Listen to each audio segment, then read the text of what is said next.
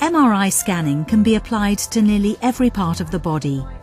Some of the many examinations that can be carried out include brain disorders, spine problems, joint problems, abdominal diseases, eye abnormalities, traumatic injuries, tumour detection, musculoskeletal conditions, cardiac malformations and dental problems.